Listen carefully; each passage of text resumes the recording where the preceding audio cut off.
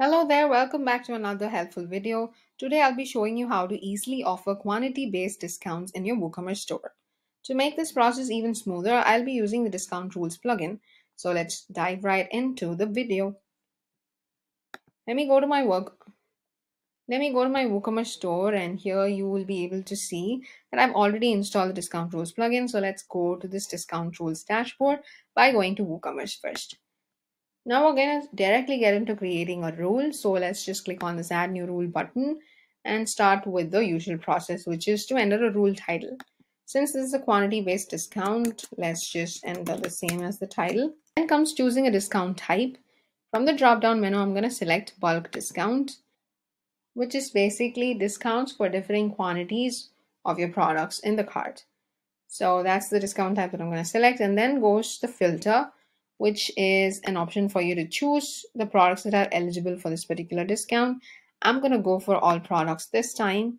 And then let's go ahead and configure the discount, the quantity, the discount type, and the value. All right, let's start off by entering the minimum quantity. So here's where you set the ranges for your discounts. For different quantities, you can set different discount types.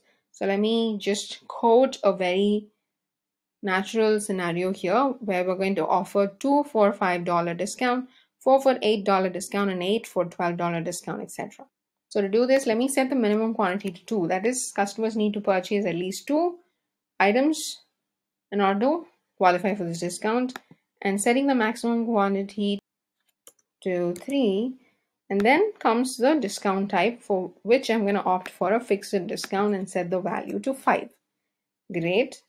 You can also choose to enter a title column for the bulk table. I'll show you what this is about. Then click on add range and the next minimum quantity will be automatically set to the next value of the maximum quantity set in the previous range. So here you can see that 4 is automatically set and then you may have to enter a maximum quantity in case you want to restrict this next discount that you're going to set.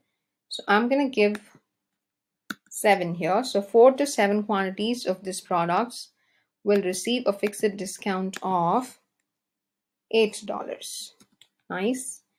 Then I'm also going to add another range, which means 8 plus quantities will receive a fixed discount of 12.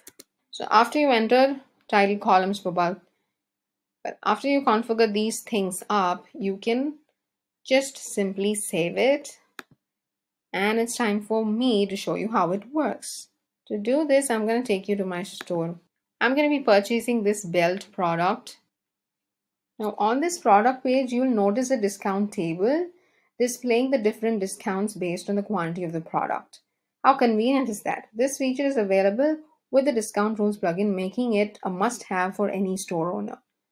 Now, with this information that we see here, we will add a product to this cart and see if the discount applies properly.